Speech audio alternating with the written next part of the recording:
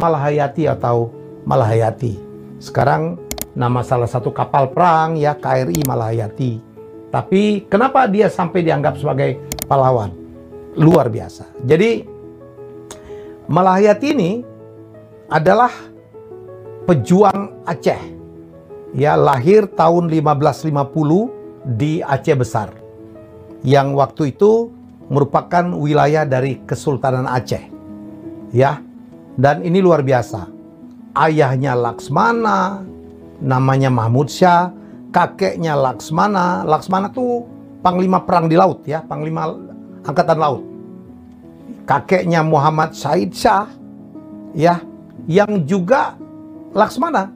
Nah, Muhammad Said Shah ini adalah putra dari Sultan Aceh, namanya Sultan Salahuddin Shah yang merintah dari 1530 sampai 1539 Masehi, memerintah Kesultanan Aceh. Suaminya pun Zainal Abidin ya dari Malahayati juga adalah seorang Laksmana. Malahayati ini setelah tamat pesantren ya dia masuk ke dalam akademi militer Baitul Maqdis. Dia belajar militer. Ini perempuan luar biasa. Perempuan belajar militer dan kemudian dia bekerja sebagai kepala barisan pengawal istana. Ya. Dan kemudian juga menjadi panglima rahasia dan panglima atau pemimpin protokol dari kesultanan, ya. Sampai suatu hari Aceh diserang oleh Portugis dan Portugis pada pertengahan atau awal-awal abad ke-16 itu baru saja menundukkan Melaka. Melaka sama Aceh dekat banget ya dan kemudian uh, Portugis itu bermaksud untuk menyerang Aceh dan suaminya sebagai panglima sebagai Laksmana pergi perang dan akhirnya berperanglah Aceh melawan melawan Portugis.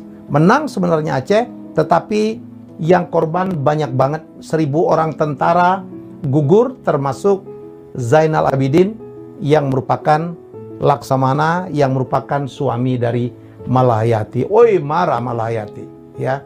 Suaminya sudah terbunuh. Setelah suaminya terbunuh, akhirnya Malahayati mengumpulkan ya para janda-janda yang suaminya meninggal, wafat, gugur dalam perang. Ya, ada lebih 2000 orang, termasuk ada beberapa gadis juga. Dia membuat pasukan perempuan namanya Inong Bale. Inong Bale itu adalah pasukan para janda ya dia pimpin itu janda-janda yang suaminya gugur dalam perang. Dan waktu itu ya dia bertempur melawan pasukan Belanda yang juga mau menguasai Aceh. Dan terjadilah pertempuran yang dahsyat banget dan apa yang terjadi? Luar biasa loh ya. Malahayati menang dan malah Malahayati bisa menewaskan pemimpin dari pasukan Belanda yaitu Cornelis de Houtman tewas tuh, ditusuk oleh rencongnya apa Malayati. Dan kemudian Malayati juga berhasil melawan adik dari Cornelis yang juga ikut berperang yang bernama Frederick uh, de Houtman yang merupakan wakil komandan ditangkap tuh. Ditangkap, dibawa ke istana, dipenjara di Aceh. Dan sejak itu Malayati menjadi seorang laksamana perang yang luar biasa menjaga menjaga dari apa istana apa Kesultanan Aceh dari kemungkinan perang. Karena waktu itu orang-orang Eropa memang berdatangan ke Nusantara untuk mencari rempah ya, untuk mencari rempah di Maluku.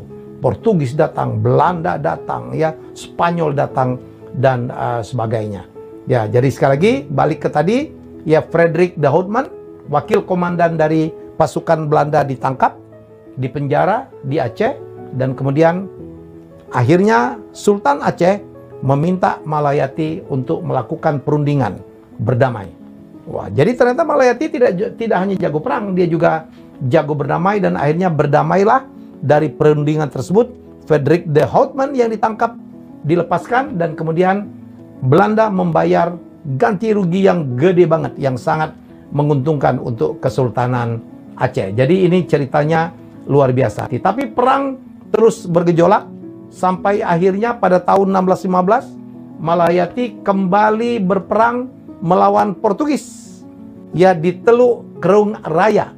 Dan di sinilah Malayati kemudian gugur ya di tangan pimpinan oleh uh, pasukan Portugis yang bernama Alfonso de Castro. Dan kemudian Malayati dikebumikan di Lamreh, Kerung Raya Aceh. Dan berapa tahun yang lalu sekitar tahun 2017 Malayati resmi dianggap sebagai pahlawan nasional dan perjuangannya saya pikir luar biasa bayangkan seorang perempuan ya bisa memimpin perang suaminya aja gugur ya dalam peperangan dan ternyata dia memimpin lebih hebat saya pikir dari uh, suaminya. Tidak bermaksud membandingkan karena di tangan Malayati dia berhasil menewaskan komandan Belanda Cornelis Doatman.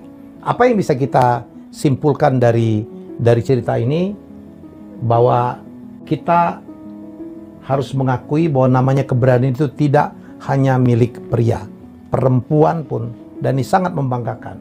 Seorang perempuan dari Aceh. Aceh itu apa pahlawan wanitanya perempuannya banyak banget ya. Mungkin Bayu tahu ya. Ada Cut Din, ada Cut Mutia. Banyak banget. Kalau nggak salah ada puluhan nama tuh. Jadi perempuan-perempuan Aceh yang berjuang ya dalam apa melakukan perlawanan terhadap uh, Belanda. Oleh karena itu nggak salah kalau mengatakan bahwa Aceh itu tidak pernah uh, takluk ya dan dalam perjuangan itu ternyata banyak sekali andil dari banyak sekali uh, perempuan.